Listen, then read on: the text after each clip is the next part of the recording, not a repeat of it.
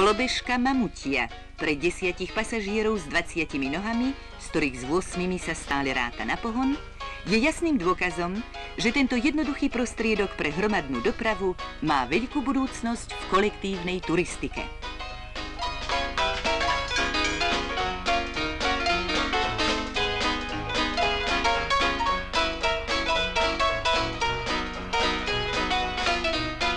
Autobrzdy to nie je len systém použitých brzd, ale aj materský závod v Jablonci nad Nisou. Títo nadšenci sú súčasne tvorcami 3 metráky ťažkého samohybu.